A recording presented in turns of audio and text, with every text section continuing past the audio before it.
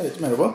Benim ismim Şadi Eren Şeker ee, ve bu videoda disk yönetimini anlatmaya çalışacağız. Veri tabanı yönetim sistemleri adı, a, e, başlığı altındaki disk yönetiminden bahsedeceğiz. Aslında disk yönetimi başlı başına bir konu olabilir. Özellikle donanım ağırlıklı, elektronik ağırlıklı okuyan arkadaşlar için birazcık giriş mahiyetinde olacak. Yani temellerini anlattığımız bir video olacak. Bu şekilde detaylı e, bilgi isteyen arkadaşlar e, bu video dan sonra onunla ilgili daha detaylı araştırmalar yapabilirler. İşin giriş kısmı gibi düşünülebilir bu videoda anlatılacak konular. Ee, bana sadeevrenseker.com'dan veya bu videonun altına yorum yazarak veya YouTube'daki bilgisayar kavramları kanalına ulaşarak ulaşabilirsiniz. Ee, bilebildiğim, vakit bulabildiğim kadarıyla her türlü soruyu cevaplamaya çalışıyorum. Eğitim serimizin bu 8. Bir, e, video grubu aslında. Belki 9 veya 10. arada birkaç videoya böldüğümüz e, seriler oldu. Diskleri anlatacağız bu videoda. E, e bu video aslında Silber Shots'ın, e, birazdan kitabın referansını da vereceğim. Silber Shots Finans'ın 10. chapter'ı kitaptaki. E, onu ikiye böldüm. Dosya yönetimini ayrı bir videoda çekeceğim. Videoları kısa kısa tutmaya çalıştığımız için bu videoda sadece diskleri anlatacağım. Disk yönetiminin nasıl olduğunu ve RAID sistemlerinden bahsedeceğim. E, daha sonraki bu grubu da bitirdikten sonra index ve hashing ile devam edeceğiz. E, veri tabanı yönetim sistemi e, sistemleri e, derslerine. Kitabımız bu. E, Silber Shots'ın e, database e, System Concepts olarak geçen kitap. 6. E, edition'ından, 6. baskısından ben e, faydalanıyorum. Öğrenci literatüründe malum yelkenli kitap olarak geçen kitaptan bahsediyoruz. Evet bu videoda neler var, neler bulacaksınız? Burada dosya yönetimine kadar olan konular var. Verinin diskte tutulması, diskin nasıl çalıştığı, diskin nasıl bir şey olduğu, yenir mi, içilir mi, döner mi, ne yapar ondan bahsedeceğiz. RAID sistemlerinden bahsedeceğiz. 6, 7 veya 8 tane RAID farklı RAID standartından bahsedeceğiz. Ve üçüncü kayıt alanlarından bahsedeceğiz. Diğer konularsa yani dosya yönetimi, dosyalarda kayıt yönetimi ve veri sözlüğünün saklanması, data dictionary'nin saklanmasıysa bir sonraki videoda e, bahsedeceğimiz konular. Şimdi gelelim e, konuları anlamaya. İlk önce şunu bilmemiz lazım. E, belki zaten biliyorsunuz bilgisayar satın alıyoruz. Bir dünya para ödüyoruz bilgisayarlara. Zaten para ödeyen herkes de bir şekilde bunları öğreniyor. Bilgisayar alırken işte size diski şudur, remi şudur diye satıyorlar bunları. E, ama bir de işi teknik olarak bilmekte fayda var. Bilgisayarımızda değişik seviyelerde hafızalar var. Birincisi cache. Bu cache ile kastedilen aslında CPU'daki cache. L1 cache, L2 cache diye level 1, level 2 cache şeklinde geçen cache. Yani CPU'nun aslında işlemleri yaparken hızlı bir şekilde CPU'daki bilgileri mesela iki sayıyı toplayacak CPU değil mi? 3 e, ile 5'i toplamasını istiyorsunuz. Bu 3 ve 5'in bir yerlerde durması lazım ki toplama operatörü çalışabilsin üzerinde. İşte bu sayıların geçici olarak durduğu yere cache ismi veriliyor. CPU'nun içinde genelde kabul ediliyor. Ee, ve çok hızlı ve hızlı olduğu için de oldukça pahalı. Bir şeyin hızı arttıkça parası artıyor. Parası arttığı için de ondan daha az alabiliyoruz. Mesela cache'ten diyelim ki megabaytlar seviyesinde alınırken RAM'den gigabaytlar seviyesinde alınıyor. Çünkü onun fiyatı birazcık daha ucuz cache'e göre. E, dolayısıyla daha fazla alabiliyoruz. Disktense çok daha fazla alabiliyoruz terabaytlar seviyesinde. Niye? Çünkü fiyatı daha ucuz. Yani bir şey ucuzladıkça bollaşıyor elimizde. Aslında böyle bir durum var. E, RAM, Random Access Memory olarak geçen e, kavram e, yazmamışız. Buraya hemen yazalım. E, şöyle Random Access Memory. Yani aslında Random Access Memory ile kastedilen herhangi bir yere rastgele erişilebiliyor. Doğrudan erişilebiliyor anlamında. Direct Access e, neden dememişler? E, doğrudan erişim anlamını taşıyor random access. E, buna literatürde primary memory yani birincil hafıza veya ana hafıza, hafıza denildiğinde veya sadece main memory denildiğinde kastedilen veya bellek Türkçe'de de kullanıyor. Hafıza gibi bellek kelimesi de kullanılıyor. E, alan. Diskler ise bildiğiniz tekerlek. Buna galiba Türkçe'de tekerlek diyorlar. Dönen tekerlek e, kompakt diskede sıkıştırılmış tekerlek mi diyorlar. Öyle bir isim var Türkçe'ye çevrildiği zaman bu. Disk dediğimiz tekerlek yani dönen bir cihazdan bahsediliyor.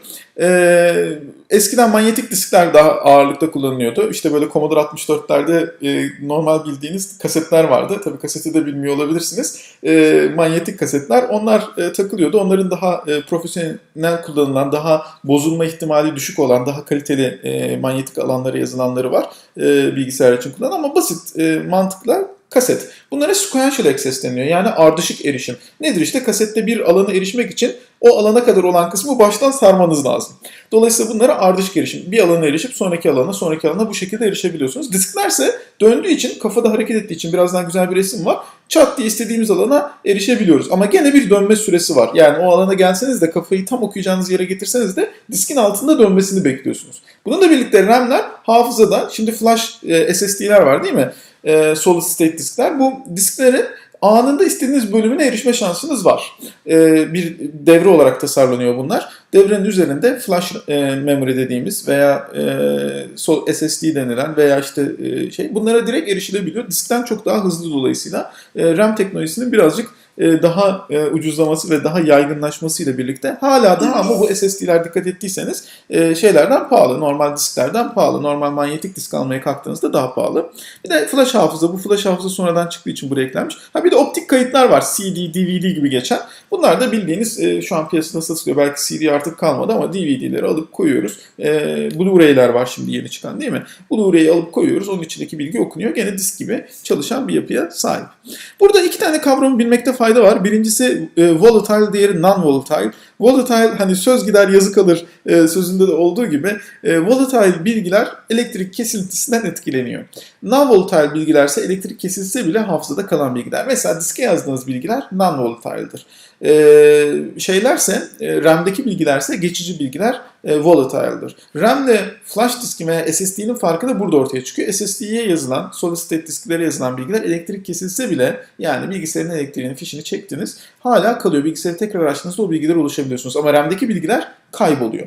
E, non-volatile RAM'ler var. Özel olarak üretilen böyle e, ha, e, elektrik kesintisine etkilenmeyen RAM'ler var ama bunlar genelde istisna olarak kabul ediliyor. RAM'i genel olarak volatile bir hafıza kabul edebiliriz. Veya cache'ler cache'deki bilgiler e, otomatik olarak kaybediliyor elektrik kesintisinden. Evet burada bir hiyerarşi var. İşte cache CPU'nun içinde kullanılan en pahalı ve en az olan elimizdeki e, hafıza kaynağı. Sonra ana hafıza main memory geliyor yani RAM'i kastediyoruz. Flash memory'ler yani şimdi SSD olarak kabul edebileceğimiz diskler. Zaten bunu kullananlar manyetik disk ve optik disk falan kullanmayabiliyorlar. Ee, ama kullananlar da olabilir. Yani hiyerarşiye bakarsak ardından manyetik disk sonra optik disk en altta da en yavaş erişilen de manyetik tepler hala kullanılıyor. Özellikle yedeklemeler için e, yüksek sayıda yedekler arka arkaya alınacaksa manyetik teypler hala iyi alternatiflerden birisi. Evet burada çok güzel bir e, çizimimiz var. E, bunlar diskler. Şimdi bu diskler e, genelde böyle disk dediğimiz şey tek bir disk değil. Açarsanız o hard diskin kutusunu açıp bakarsanız içinde birkaç tane böyle disk katmanı olduğunu görürsünüz. E, bir kafa var. Bu kafa e, ileri ve geri hareket edebiliyor. Dolayısıyla mesela hangi sektörü okuyacaksa bu disk üzerinde oraya doğru geliyor. Sonra o geldikten sonra e, bu gördüğünüz üzere yüzler var, surface'lar var. Burada surface'dan bahsedilmemiş. Bu surface'lerden hangisi okunacaksa ondan okuma işlemi yapılıyor. Mesela diyelim ki şuradaki üstte bize bakan yüzey okunacak. Bu kafadan okunuyor veya alttan okunacaksa buradan okunuyor.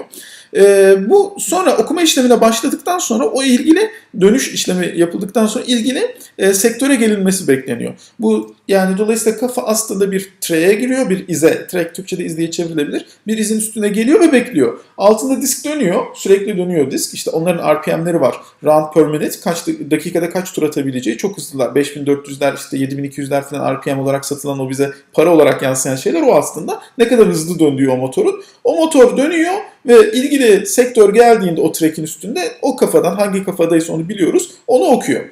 E, bu dolayısıyla e, burada şeyler de oluşmuş oluyor, silindirler de oluşmuş oluyor. Yani şu tracklerin aynı yüz yani iki yüzü var. O tracklerin okunduğu yerlere silindir de denilebiliyor. E, bunu tabii şey e, bu bir sembolik çizim onu söyleyelim öncelikle. Normal diskte de buna benzer bir yapı olmakla birlikte farklı şeyler olabiliyor.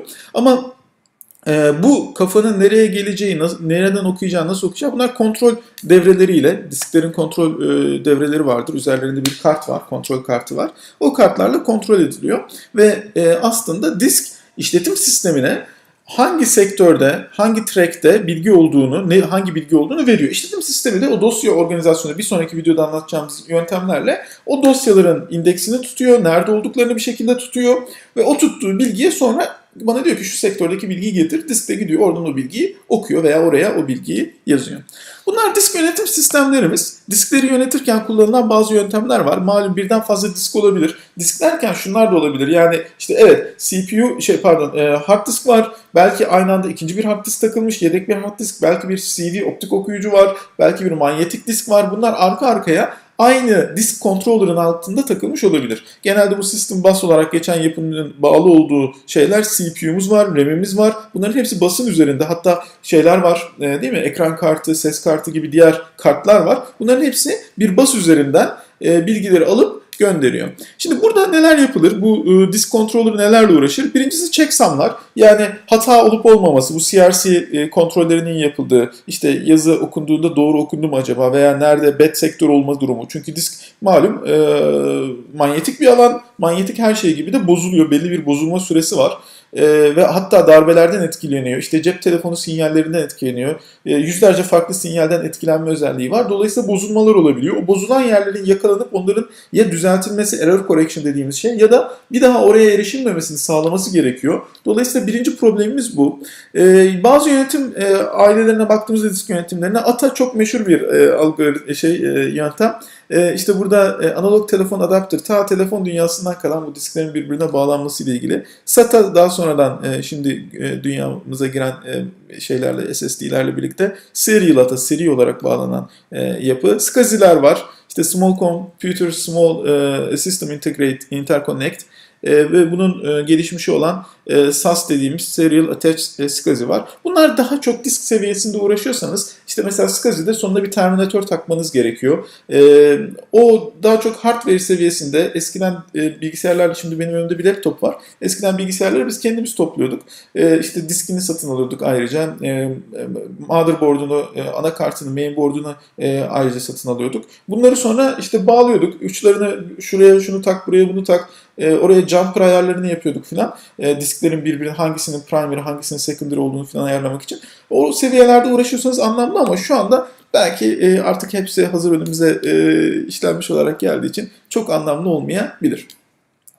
Şimdi bir de disklerin, e, disk dediğimiz zaman sadece kendi bilgisayarımızdaki kişisel disklerimizi düşünmeyin. Bir de e, network disklerimiz var. Network üzerinde file storage'lar, dosya e, saklama alanları e, sunuluyor. Mesela düşünün bir e, işletmede çalışıyorsunuz. İşletmede bir sürü veri tutulacak. Hatta bunlar database'lerde olabilir. Doğrudan database'in diskin üzerinde tutulması söz konusu. Bunların nasıl yönetileceğiyle ilgili iki tane e, sistemimiz var. Birincisi SAN olarak geçen Storage Area Networks olarak geçen, diğeri de NAS olarak geçen, Network Attached Storage olarak geçen yapı. E, bunların altında detaylar var. Yani altındaki detaylardan bahsedebiliriz. Ama şundan bahsedelim. NAS genelde bir e, sunucu üzerinden de olabilir. Bir e, kontrol ünitesi üzerinden de sağlanabiliyor. Yine bir oraya bir cihaz konuluyor. Diskler bu cihaza bağlı, bu bilgisayara bağlı veya ve veya bilgisayarlara bağlı ve bu e, cihazlar e, şey üzerinden e, ne denir? E, ağ üzerinden hizmet veriyorlar. İşte burada çok kullanılan Samba, SMB diye geçen Samba veya Network File System, NFS gibi sistemleri görebilirsiniz. Bu sistemler ağ üzerinde disk şeye veriye erişilmesiyle ilgili bir altyapı sağlıyor. Mesela diyelim ki ben bir bilgisayardan sunucuya login oldum. İşte masaüstüm, bütün kullandığım ikonlar, browser'da şeyde internet gezgininde saklamış olduğum bookmarklar, e, bookmark'ın Türkçesini e, neyse gezdiğimiz historisi diyelim, geçmiş hangi sayfaları gezdiğim falan gibi bilgiler e, orada bulunuyor. Şimdi o bilgileri ben başka bir bilgisayarda login olduğumda oraya da gelmesini istiyorum. E, bilgisayarın diskini alıp her seferinde yanımda taşıyamayacağım diyelim. Ne oluyor? O network'te bir yerde saklanıyor ve siz bağlandığınız zaman otomatik olarak bu bilgi sizin üzerinize, e, sizin e, şeyinize geliyor, e, makinenize geliyor. İşte bunun için ne kullanıyor? E, NIS e, eski ismiyle Yellow Pages gibi bir sistemde login oluyorsunuz. O login olduğunuz sistem LDAP gibi bir sistemle login oluyorsunuz. O login olduğunuz sistem authentication'ı sağlıyor. Artı sizin bütün o bilgilerinizin nereden geleceğini e, sunucu üzerinde, network üzerinde hangi diskte saklanıyorsa veya disklere dağıtılmış da olabilir. Bunları size toplayıp getiriyor. SAN gibi yapılarsa daha çok donanımla sağlanan ve bu donanımların birbirine bağlanmasıyla işte iSCSI gibi, AOA gibi, Fiber Channel gibi, e, fiber kanal gibi e, sistemler üzerinden bir e, hizmet sunuyor. Yani ikisi aslında ikisinin arasındaki farkı şöyle düşünebilirsiniz. Birisi dosya yönetimi sisteminde, file organization sisteminde yazılımla yapılan çözümleri içeriyor. Diğeri ise daha çok donanımla bu disklerin birbirine bağlanmasıyla kullanılan yapıdır diyebiliriz. Ama neticede hizmet ettikleri şey aynı. Bir sürü farklı bilgisayardaki farklı disklerin birbirine e, internet üzerinden bağlanabilmesi, network üzerinden bağlanıp e, tek bir disk gibi çalışabilmesi. Şimdi disklerden bahsederken tabii birazcık da kalitesinden disklerin bahsetmek lazım. Neler başımıza geliyor onlardan bahsetmek lazım. Terimlerden bahsetmek lazım. Access time, erişim zamanı bir diskteki veriye erişme zamanı. Veriye nasıl erişiyorduk hatırlayın disk dönüyordu. Kafada o ilgili train üstüne gelip sektörden okuma yapacaktı. Dolayısıyla diskin erişim zamanı, veriye erişim zamanı birincisi kafanın oraya gelmesi, o gelmesi bunun için bir zaman geçecek. Diyelim ki hani büyük konuşalım daha anlayabileceğimiz gibi konuşalım. 10 saniyede geldi. Hani çok böyle bir şey olmuyor tabii de çok çok hızlı geliyor. 10 saniyede geldi. Bir de disk dönüyor. Orada oraya gelmemiz, o bilgiye erişmemizi sağlamıyor. Diskin de dönüp o ilgili sektörün e, kafanın altına gelmesi gerekiyor. Diye bu da 3 saniye sürdü. Dolayısıyla bizim access time'ımız, erişim zamanımız 13 saniye oluyor. İşte bu kafanın erişmesi, oraya gelmesi seek time. E, bu diskin altında dönmesi, o kafanın altında dönüp ilgili sıraya gelmesi ise rotational latency olarak, gecikme olarak geçiyor. Gene saat, buraya geldikten sonra kafa tamam, kafa o ilgili treyin üstüne geldi. Sektörde kafanın altına geldi. Şimdi oradan veriyi okuyacak ya, o okuma hızı da var. E, oraya gelmesi tek başına o veriyi okumasını sağlamıyor. E, her diskinde bir okuma hızı var. Bu okuma hızlarına data transfer rate ismi veriliyor. Yani verinin transfer edilme hızı olarak geçiyor. E, bu saniyede işte 25'ten 100 MB'a kadar çıkabiliyormuş. Burada mesela bakın 300 MB per second veya 3.6 e, ultra skaziler var. 3 ile 6 GB per second olarak okuyor. Yani oraya erişmenin dışında bir de oradan transfer etmek için geçen zaman. Tabii bu e, SSD kullanıyorsanız solid e, state disk e, e, gibi geçen veya flash memory kullanıyorsanız oralarda e, bir rotational latency'den seek time e, rotational latency'den bahsedilmez, seek time'dan bahsedilir. O ilgili adrese erişmek için geçen zaman veya RAM için de aynısı söz konusu olabilir ve o veriyi daha sonra transfer etmek için geçen zamanımız var. E, veriye ulaşmak transfer ettiğimizi göstermiyor. Evet bir de disklerin hata yapma ihtimalleri var. Disklerin bozulma ihtimalleri var. Bunu da hesaplıyorlar. Diski size satarken diski satan firma diyor ki sizin MTTF'iniz yani mean time to failure'ınız yani sizin bir diskinizde bir bozulma olma ihtimali. Sonuçta hiçbir şey hiçbir zaman bozulmayacak diye bir garanti verebilir mi? Kimse veremez. O disk bozulacak. Ama bozulması için ben garanti veriyorum. İşte 3 yıl içinde senin herhangi bir failure bu diskte yaşamamanı garanti ediyorum. Yani 5 yıl içinde yaşamamanı garanti ediyorum diyor firmalar. E, genelde kurumsal müşterilere ediyor tabii. Son kullanıcıya çok bunu söylemiyorlar. Bilmiyorum eğer söyleyen varsa. Çünkü o garantinin arkasında ciddi maddi e, şeyler de var. E, tazminatlar da var. E, işte burada saat olarak 500 bin 1 ee, milyon 200 bin saat gibi saatler verilmiş. Bu sizin diskinizi taktınız, çalıştırmaya başladınız. O diski kullanmaya devam ettiğiniz sürece işte 3 yıl içinde herhangi bir failure, herhangi bir e, problem yaşamamanızı garanti ediyor. Ee, RAID sistemine gelelim. Evet bu videonun önemli amaçlarından birisi de RAID. RAID malum e, sağda solda soru olarak da çok çıkıyor. Bilinmesinde de fayda var. İş görüşmelerinde falan da çıkabilecek bir e, kavram. RAID nedir? Kısaca aslında bir kısaltma Redundant Arrays of Independent Disks yani birbirinden bağımsız disklerin tek bir disk gibi çalıştığı ve buna da redundant array diyoruz. Neden redundant? Redundant ne demek? Aslında kelime kelime çevirirsek redundant boş, gereksiz, anlamsız gibi ifadeler taşıyor. Gereksiz bilgi tutuyoruz çünkü RAID'lerde.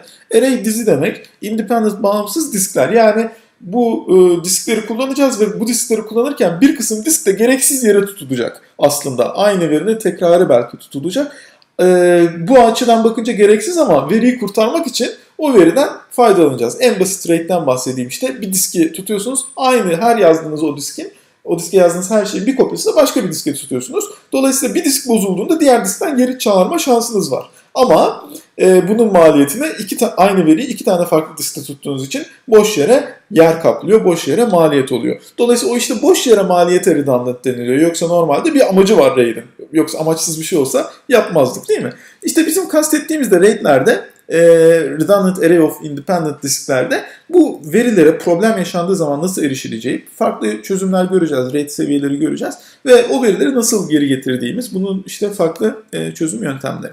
Genelde burada işte n tane diskten oluşan bir e, diziden bahsediyoruz. E, ve RAID genelde e, bize şey sağlıyor, ne denir? E, ucuz çözümler sağlıyor. Evet, redundancy'den bahsettik. Mirroring'den bahsettik. Bunu herhalde geçebiliriz. Bakın burada bir defa şunu bilmemiz lazım. RAID'lerin seviyesini anlamak için. Bir, bit level stripping bir de block level stripping dediğimiz iki tane e, kavram var. RAID çalışırken bit seviyesinde bitler neler? İşte 1 veya 0 olabilen bilgi değerleri değil mi? 1 byte'ımız da 8 bit olarak kabul ediliyor. Dolayısıyla 1 byte bilginiz var. Bu 1 byte mesela 8 tane diskiniz var diyelim. 8 diske 1 byte yazarken birinci biti buna, ikinci biti buna, üçüncü biti buna 8 tane biti dağıtarak bitleri bit seviyesinde parçalamalar yapıyorsanız bit level stripping'den bahsediyoruz. Ama bir mesela Word dokümanını yazacaksınız. Word dokümanını yazarken o Word dokümanı diyelim ki 100 tane bloğa bölünecek. Blok neydi bu arada onu da söyleyelim. O şeyin üstünde Tray'in üstünde sektörlere sığabilen veri üniteleri. yani o diskin üstünde bir e, en ufak yazabildiğimiz veri ünitesine blok diyoruz. Böyle bir e, bloklara böleceksek mecbur böleceğiz. Diski bloklara yani diske yazabilmek için bir dosyayı bloklara bölmemiz gerekiyor. Bölmüş olduğumuz o blokları disklere dağıtıyorsak birinci blok birinci diske, ikinci blok ikinci, üçüncü blok üçüncü diske şeklinde dağıtıyorsak o zaman block level stripping'den bahsediyoruz. Şurada e, onu e, belki söylemeyi unuttuk. Tekrar hemen döneyim. Şurada bloklarımız var. Burada e, herhangi bir yerde yazılmamış. Şu her bir e, tray'in üstündeki sektör bizim için blok. E, bu bloklar veri üniteleri, yazabileceğimiz en küçük veri üniteleri. Bu e, şeyle de e, ilgili, işletim sistemi ve kontrol ünitesiyle de ilgili. Bazen sadece sektör ve track bloğu belirtmeye yaramıyor. Kullanılan e, yönteme göre e, bloklar da değişebiliyor, boyutları değişebiliyor. Bunu şeyden girerseniz e, bilgisayarın bu açılırken BIOS'una girip BIOS'unda ayarlama yaparsanız kullanılacak sisteme göre veya e, kullanılan e, dosya yapısına göre FAT32, FAT16'ya göre farklı boyutlar alabiliyor. Mesela diyelim ki 1 MB alıyor basit olsun diye. 1 MB veriyi bir bloğa yazabiliyorsak bu e, bizim için block level oluyor. E, işte bir blok oluyor. İşte 100 MB'lık bir veriyi 100 tane bloğa böleceğiz. Bunları farklı disklere blok blok bölüyorsak bu 100 MB'lık veri e, işte kaç bit yapar bilmiyorum ama önce 1024'te çarpıp kilobayta bir daha 1024'te çarpıp byte'a ve bir de 8'de çarpıp bite çevirdiğimizde bit bitte bölme şansımız var. Şimdi bu bizim için e, aslında RAID'in bazı seviyelerini anlamamızı sağlayacak. Şöyle ki öncelikle RAID seviyesinden bakalım. RAID seviyelerine bakalım. RAID sıfırda block e, stripping var. Yani burada aslında diskler, birden fazla disk tek bir disk gibi çalışıyor ama herhangi bir yedekleme, herhangi bir problem çıktığında kurtarma şansımız yok. Veriler disklere dağıtılıyor ve veriler disklerden okunuyor. Dolayısıyla herhangi bir kurtarma çözümü olmayan algoritma. Tek bir diskiniz varsa RAID 0 kullanıyorsanız aslında normal diski kullanmaktan bir farkı yok. Birden fazla disk varsa RAID 0'ın sağladığı birden fazla diske tek bir disk gibi erişmek. RAID 0'ın sağladığı bize bu. RAID Level 1, RAID 1 dediğimiz şey ise diskleri birbirine e, mirrorlıyor. E, bunu shadow da deniliyor, gölgeliyor da deniliyor. Yani bir diske yazdığınızda aynısını diğer diske de yazıyorsunuz. Ne oluyor? Disklerden bir tanesi bozulursa o diskteki verileri geri kurtarma şansınız var. İşte burada 4 tane diskiniz varsa 4 tane de shadow diskiniz olacak, gölge diskiniz olacak. Her bir diskin bir tane yedeği olacak ve bir tane disk diyelim ki aradan bozulduğu zaman diğer diski e, alıp kurtaracaksınız, onu kullanacaksınız. E, RAID Level 2, burada ECC denilen, e, Error Correcting Codes denilen ve hafızada RAM'de kullanılan yapıya benzeyen bir yapı var. Bu e, e, şey RAID Level 2 bize bit level'da bit level stripping sağlıyor. Şunu yapıyoruz. Diskin üzerine bitleri dağıtıyoruz. Farklı disklere farklı bitleri dağıtıyoruz. Ve bunların üzerinde bir kontrol algoritması çalıştırıyoruz. Ve verinin herhangi bir yerinde bozulma olduğu zaman o veriye erişmemizi, o verinin neresinin bozulduğunu bulmamızı sağlıyor. Mesela bakın şurada e, şekilde gösterilmiş RAID Level 2. Burada diskte verilerimiz var. Şu üstünde P yazmayanlarda verilerimiz var. Bunlarsa parity bitler. Yani kontrol e, bitleri diyelim bunlara. Sadece parity deyince parity check anlaşılmasın. O bir sıfırlık kontrolü yapan algoritma o da kullanılabilir. Başka algoritmalar da kullanılabiliyor. Error e, detection'ın dışında e, error recovery için kullanılan, error correction için kullanılan algoritmalar da var ama diyelim ki parity bitler. Şunu yapıyor işte sizin 8 tane 8 bitlik verinizi burada 4'e yani 2 bit 2 bit yazacak. 8 tane diskiniz olsaydı birer bit yazacaktı. Sonra burada da kontrollerini yapıyor. Herhangi bir disk bozulması durumunda disk bozulduğu zaman bu diğer hangi diskinde bozulduğunu biliyorsak diğer bilgiler ve şuradaki parity'leri kullanarak geri döndürebiliyor. Dolayısıyla diskimizin bozulmasına karşı, bit level'da diskimizin bozulmasına karşı bir çözüm bize sağlıyor. Bit interleaved parity ise RAID 2'nin e, bu arada onu da söyleyelim. RAID 2 hiç kullanılmayan bir e, şeydir. E, çünkü RAID 3 bunu e, tamamen yerine geçebilecek bir çözümdür. Daha iyi bir çözümdür. Tek bir diskte bu pariteleri kontrol ediyor. Kullandığı algoritma birazcık daha farklı. XOR run'u alıyor, parite check'ini alıyor ve dolayısıyla hangi diskte hata varsa o diskteki verileri geri getirebiliyor. Mesela şöyle düşünün. Eee verileri yazdık. İşte 1-0, 1-0 şeklinde verileri yazdık. E, bir tane disk bozuldu arada. 8 tane biti de dağıttık 8 tane diski. Bir tane disk bozuldu. Parity check'le kontrol tutmuyor. E, veya parity check'ten o bilgiyi geri döndürebiliriz. Bu arada parity check veya XOR bitlerini tabi e, belki bilmeyen arkadaşlar olabilir. Ben e, şey yapıyorum ama şurada bir yerlere yazmaya çalışayım. Mesela şöyle bir e, şeyimiz olsun. E, evet şöyle bir e, bilgimiz olsun. Bunun parity check'i şudur. e, sıfırdır. Şunu yapıyoruz. Kaç tane bir var veya kaç tane e, evet kaç tane bir olduğunu sayıyoruz. Birlerin sayısı tekse 1 oluyor. Birlerin sayısı çiftse 0 oluyor. Burada iki tane bir var. Dolayısıyla 0. Veya bunu XOR olarak da düşünebilirsiniz. İşte 1 ve e, 0'ın XOR'u, 0 ve 1'in 1 ve 0'ın XOR'u şeklinde de gidebilir. E, parity check bu. Sonuçta bir tane bit döndürüyor. O döndürülen bit de kaç tane e, 1 veya 0 olduğunu e, buluyor. Diyelim ki aradaki bir biti kaybettik. X bu. Bilmiyoruz hangi bit olduğunu. Şimdi elimizde bunun 0 olduğu bilgisi var. Bir de bu bilgiler var. E şimdi bunun 0 olması için çift sayıda 1 olması lazım. E elimizde bir tane 1 var. Demek ki burası da neymiş? 1'miş. E, dolayısıyla bu parity bitten şeyi geri döndürebiliyoruz. Veriyi geri döndürebiliyoruz. E parity bit giderse yani diyelim ki parity o da bir diskte duruyor ya neticede. Şuradaki bilgiyi kaybedersek ne olacak? Geri buradaki bilgilerden o parity'yi tekrar e, şey yapabiliyoruz. E, generate edebiliyoruz, üretebiliyoruz. Dolayısıyla işte rate level 3 burada tek bir parite e, diski tutarak diğer bilgileri geri e, şey yapmaya yarıyor. Şimdi block level şey e, rate level 4'e geçtiğimizde rate 4'ten bahsettiğimizde block level'dan bahsediyoruz. Bakın rate 2 ve 3 bit level'da, rate 4 ve 5 ise bunun bunların block level karşılıkları olacak. Burada bakın e, rate e, level 4'te burada tutulan parite blok bazında tutulmuş. Yani bütün bloğun e, şeyi alınmış, e, paritesi alınmış şekilde düşünülebilir. Arada bir fark yok diğer e, şeyden. Tek farkı block level'da düşün, e, düşünülmesi gerektiği. Burada karşılaştırmaları var. E, bunu belki daha sonra da bahsedebiliriz şeylerin. Şimdi RAID level 5'e geçtiğimizde şöyle bir şey var. Her bir disk diğer disklerin geri kalan bitlerinin paritesini tutuyor. Bakın şöyle bir aşağıya doğru giden bir şey var. Mesela bakın burada veri birinci diske, ikinci, üçüncü ve dördüncü diske yazılmış. Paritesi birinci diskte, şey, sıfırıncı diskte. 0, 2, 3, 4'te veriler var. 1'de pariti var. Dolayısıyla her yazma sırasında o paritinin tutulduğu, şimdi daha önceki disklerde e, hatırlarsanız bir tane pariti diski vardı. E, bir tane kontrol diski vardı. Bu e, kontrol diskinde veriler duruyordu. Veriler disklerde duruyordu. Kontrolde de kontrolleri duruyordu. Bu RAID 5'te ise şeyi dağıtıyoruz. Kontrolleri dağıtıyoruz. Dolayısıyla herhangi bir diskte bozulma olursa gene diğer disklerden o veriyi üretebiliyoruz. Hatta şunu da yapabiliyoruz. Bu diski komple e, kaldırıp, sistemden kaldırıp yerine başka bir disk e, e, koyup kalan verilerden o diske veri de üretmemiz mümkün. E, bu birazcık daha e, şeye göre e, ne denir? E, birden fazla disk çökme ihtimali de var çünkü malum Şurada diyelim ki iki disk e, birden bozulursa yapacak hiçbir şey yok. Verileri geri döndürme şansımız yok. Burada iki disk birden bozulursa birazcık daha şansımız olabiliyor RAID level 5'te. E, RAID level 6 şunu sağlıyor. E, şeyin e, RAID level 5'te sağlanan bu şeyler var ya e, parça parça gitmesi onun üzerinde mirroring yapıyor.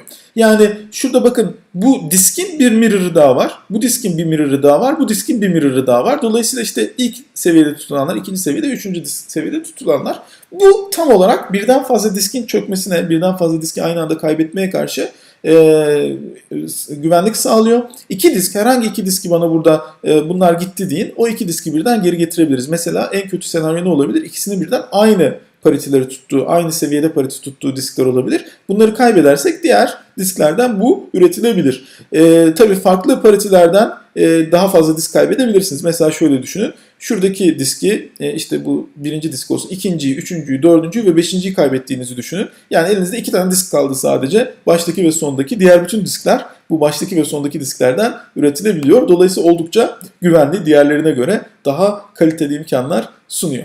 Bir de RAID 10 gibi okunan ama aslında RAID 1.0 denilen 1.0 olarak geçen bir yapımız var. Ondan da bahsedelim. RAID 1.0 aslında şu. Önce RAID 1 yapıyor. Yani RAID 1'i hatırlayacak olursak bit level'da bize e, şey sağlıyordu. E, e, mirroring sağlıyordu bit level'da. E, RAID 0 ise bu birden fazla diskin tek bir disk gibi çalışmasını sağlayan yapıydı. Dolayısıyla burada şunu yapmış oluyoruz. Önce mirrorlanıyor. A2, A2, A4, A4 shadowlanıyor veya gölgeleniyor, kopyalanıyor, e, aynalanıyor. Mirroring aynalama demek. Türkçesini söylemedik. E, sonra da RAID 0 bunların tek bir disk gibi çalışmasını sağlıyor. RAID 01 da var bu arada. O da şunu yapıyor. Önce diskleri tek bir disk gibi çalıştırıp sonra onları mirrorlıyor. Aslında birbirinin aynısı. Sadece erişim seviyelerinin farklı olduğu yapı. Yani RAID 10 diye bir şey yoktur. RAID 10 1.0 olarak geçen yapıdır bu. E, rate'ler neye göre e, seçiliyor? Tabii para önemli e, şeylerden birisi. E, çok fazla paranız e, yoksa e, belki rate seviyelerini yükseltmeyi düşünmeyebilirsiniz. Daha alt seviyelerde tutabilirsiniz. E, burada şundan bahsetmek lazım. Rate 4'ü hiç kullanmıyoruz. Rate 5 olduğu için. Rate 4'ün yaptığı her şeyi 5 yapıyor. Yani bir parity disk ayrıca tutulması yerine Rate 5 kullanmak daha iyi. Aslında en çok kullanılanı Rate 5'tir e, ve Rate 1'dir. Rate 1 mirroring. Yani şöyle Rate 0 e, da çok kullanılıyor. Birden fazla diski tek bir disk gibi çalıştırmak için. RAID 1 çok basit olmasından dolayı mirroring yaptığı için çok tercih edilen e, şeylerden birisi. Recovery'si de kolay onun. İşte bir diski komple kaldırıp diğerini kopyalıyorsunuz neticede. RAID 5 gene en çok kullanılanı. E, block level'da bu pariteleri distribute ettiği için, dağıttığı için e, kullanılıyor. RAID 6 birazcık parayla ilgili. Genelde ben çok böyle güvenlik gerektiren yerlerde kullanıldığını, onun dışında çok kullanılmadığını e, söyleyebilirim. E, RAID 2, 3 ve 4 ise çok kullanılmıyor. Çünkü bit level'da yapılan şeyleri e, genelde bloklara erişimle ilgili problem olduğu için disk onun için belki diskin özel olarak kontrol edilmesi gerekiyor. Ee, onu çok tercih etmiyorlar 2 ve 3 bit level'da oldukları için. Aslında bit level tercih edildiğinde 2 hiç tercih edilmiyor. Çünkü 3 2'nin yaptığı her şeyi yapıyor. 4 Dün yaptığı her şeyi 5 yaptığı için RAID 5 çok tercih edilir. RAID 0, RAID 1 ve RAID 5 çok tercih edilen e, yöntemlerdir diyebilirim. Yani belki e, şeyden e, piyasada e, daha çok bunları görürsünüz. E, RAID'ler çözülürken iki türlü çözümü mümkün. Birincisi yazılım seviyesinde işte bir bilgisayara 20 ee, tane diski bağlıyorsunuz veya 3 tane diski bağlıyorsunuz. Az önce bahsettik ya bu IDE'den, ATA'dan, SATA'dan bir yerlerden bağlıyorsunuz. O bağladığınız e, diskleri sonra yazılım RAID yapıyor. İşletim sistemine diyorsunuz ki mesela işte e, NT e, ne şimdi Windows'un professional versiyonları falan sunucu server, Windows Server'a işte Unix sunucuya, Linux sunucuya hangi sunucuyu kullanıyorsunuz diyorsunuz ki bu diskleri RAID olarak sen tanı. Ona göre formatta ona göre kullan. O onları RAID yapıyor. Yazarken verileri hangi RAID seviyesini kullanmak istiyorsanız gidiyor o bilgiyi o e, ilgili diske yazıyor. O kendi içinde biliyor hangi diskin kaçıncı disk olduğunu, hangisinde hangi bilginin paritesinin durduğunu tutuyor. E, şey e, bir de donanım olarak yapmak var. Böyle bir disk array'ini alıyorsunuz. E, bir kabloyla bilgisayara bağlıyorsunuz. Bilgisayar zannediyor ki onu tek bir diske ben yazıyorum onu. Halbuki o arkada onun kontrol ünitesi üzerinde bir yazılım gene onun oluyor ufak bir yazılım e, bir e, fabrika yazılımı diyelim e, firmware diyelim. O yazılım onu alıyor ilgili disklere dağıtıyor. Dolayısıyla orada artık donanım işi hallediyor. Siz işletim sisteminden bağımsız olarak kullanıyorsunuz. Ne farkı var? Donanım seviyesindeki problemler çıktığı zaman tam problem çıkıyor. O kontrol kartında falan problem olduğunda onların yazılması ilgili. Ee, yazılım seviyesinde ise yazılımın tabii yedeklenmesi lazım. Yazılım hangi diskin nerede tutulduğu, hangi bilginin nerede tutulduğunu tuttuğu için genelde onları diske yazıyorlar. Dolayısıyla diskten onlar recover edilebiliyor ama e, bir de üzerinde bazılarının tabii journal file sistemler ve bir de e, şeyler oluyor. E, biliyorsunuz şifreleme oluyor. File system şifreli oluyor. Onların recover edilmesi birazcık daha sıkıntılı olabiliyor.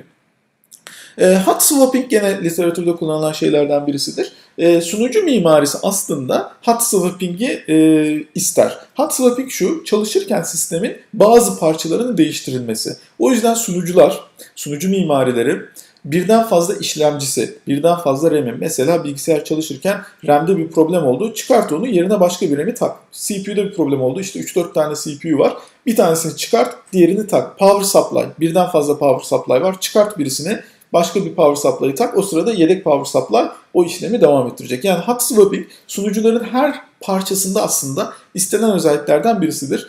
Sunucuyu hiç kapatmadan donanımına müdahale edebilmek, donanımında bozulan parçayı çıkartmak anlamına gelir. RAID'lerde de bu isteniyor. RAID'ler çalışıyor. 5 tane diskiniz var. Ee, çıkart bir diski tabi böyle küt diye kablosunu çekerek değil de onun uygun bir ayarını yapıp e, çıkart disklerden bir tanesini tak diğer diskler bir yandan hizmet vermeye devam ederken bir yandan da o arada o diskteki eksik yeni geldi ya disk. içinde hiçbir bilgi yok ama bilgi olması lazım. Başka bir diski substitute ettiniz, ikame ettiniz, yerine koydunuz. Onun tekrar üretilmesi lazım. İşte e, şeyle e, hot swapping'de kastettiğimiz e, şeyde e, şey seviyesinde ne denir disk seviyesinde bu. Data scrubbing verilerin e, geri üretilmesi, recover edilmesi. Latent failures'larsa bir bilginin e, kayıp olması durumunda, kayıp olması durumu. Şöyle diske yazdığınız veriyi henüz onun yazılması ile ilgili işlem yapılmadı. Dolayısıyla orada bir veri kaybı e, olabilir. E, uyarımız var. E, Optik disklerimiz, e, bunları belki biliyorsunuzdur zaten. Burada bir de Blu-ray'ler var. Başka diskler de var. Deneme için farklı firmaların ürettiği optik diskler de var. İsimleri çok bilinmemekle birlikte. E, bunların detayını ben e, çok anlatmaya gerekli bulmuyorum. Yani CD-ROM işte 640 MB'a kadar okur. İşte DVD 4.7 işte double sided olunca iki şey olunca iki boyut olunca iki yönü olunca gibi özellikleri var. Bunların artısı eksisi var. İşte reader'ınız, recorder'ınız, writer'ınız ne deniyorsa ona onların uyumlu olması gerekiyor filan. E, bunlar artık birazcık eski teknoloji kaldı. Kitapta bulunduğu için geçiyoruz ama manyetik teypler, manyetik teypler hala kullanılıyor. Özellikle backup için çok yüksek miktarda veriler ve sistemin komple backup'lar alınacaksa manyetik teypler kullanılıyor hala. Bu e, çok eski bir teknoloji olmasına rağmen şu an e, hala kullanılan sunucu tarafında e, göreceğiniz e, sistemlerden birisi. Ee, evet benim bir yandan e, telefonum çaldı. Videoyu burada e, bitirelim. Tam konumuzu da bitirdik. File Organization e, konusuyla devam edeceğiz. Ben hemen e, şeye döneyim. Baş ilk slaytımıza dönelim. E, benim ismim Şahade Evren Şeker. sadeevrenşeker.com e, ev sayfam, homepage'im. E, YouTube kanalımız Bilgisayar Kavramları üye olabilirsiniz. Sorularınızı videoların altına yazabilirsiniz. E, bir sonraki videoda e, file organization, e, dosya yönetimi tabii giriş yapacağız sadece. Bu normalde biliyorsunuz ayrı bir ders olarak file organization dersleri var okutulabilir. Biz bir videoda e, şöyle girişini yapmaya çalışacağız ve sonraki videolarımızda da index and hashing'den bahsedeceğiz. Böylelikle zannediyorum 10 ve 11. videomuzu da çekmiş olduk. Herkese başarılar diliyorum.